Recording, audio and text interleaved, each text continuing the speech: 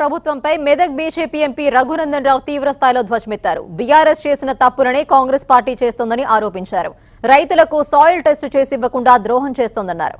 రేవంత్ రెడ్డి నాయకత్వంలో కాంగ్రెస్ ప్రభుత్వం బద్నామవుతోందని ఆరోపించారు. బీఆర్ఎస్ కాంగ్రెస్ పార్టీలు రైతుల్ని వంచిస్తున్నాయని మండిపడ్డారు. ఓట్ల కోసం అలవికాని హామీలనిచ్చి కాంగ్రెస్ పార్టీ అధికారంలోకి వచ్చిందన్నారు రఘునందన్ రావు.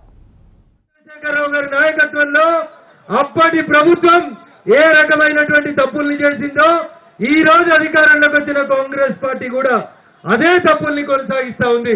నరేంద్ర మోడీ గారి నాయకత్వంలో భూసార పరీక్షలు చేయాలని తెలంగాణ రాష్ట్రాన్ని ఎంపిక చేసి సుమారు పన్నెండు వందల కోట్ల రూపాయల్ని భూసార పరీక్షల కోసం ఇస్తే చంద్రశేఖరరావు ప్రభుత్వం ఈ రోజు దాకా ఒక్క జిల్లాలో కూడా రైతన్నలకి భూసార పరీక్షలు చేసి సాయిల్ హెల్త్ కార్డు ఇవ్వనటువంటి దుర్మార్గమైనటువంటి ప్రభుత్వం అధికారంలోకి వచ్చిన పది నెలలలో ఇప్పుడు వీళ్ళు పాయిలట్ ప్రాజెక్ట్ అని జిల్లాకు ఒక మండలాన్ని ఎంపిక చేసి ఇంకా మీన మేషాలు లెక్క పెడుతున్నారు తప్ప నరేంద్ర మోడీ గారికి ఉన్నటువంటి దూరదృష్టిని గత పదకొండు సంవత్సరాలుగా తెలంగాణ రైతన్నలకు అందకుండా నాడు బీఆర్ఎస్ నేడు కాంగ్రెస్ రెండు కూడా ద్రోహం చేస్తా ఉన్నాయనేటువంటి విషయాన్ని దురదృష్టం.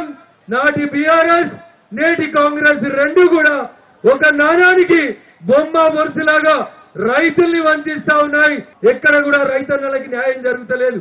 రేవంత్ రెడ్డి గారు చంద్రశేఖరరావు ఫామ్ హౌస్ని స్వాధీనం చేసుకొని దానికి రైతు వేదికలు రైతులందరినీ తీసుకుపోయి శిక్షణ ఇచ్చేటందుకు రోజుకొక శాసనసభ నియోజకవర్గం నుంచి రైతుల్ని ఫామ్ హౌస్కి తీసుకుపోవాలి.